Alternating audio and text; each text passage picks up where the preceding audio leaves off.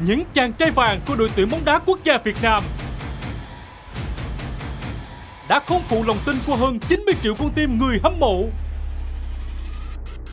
Một kỷ nguyên mới đã được mở ra với chiến thắng vang dội khắp châu lục. Đồng thời kết thúc năm 2018 thành công nhất trong lịch sử bóng đá Việt Nam với chiếc cúp danh giá, chức vô địch của niềm tin sau 10 năm chờ đợi. Sony Bravia OLED TV đỉnh cao hoàn mỹ mới cho một đỉnh cao chiến thắng mới.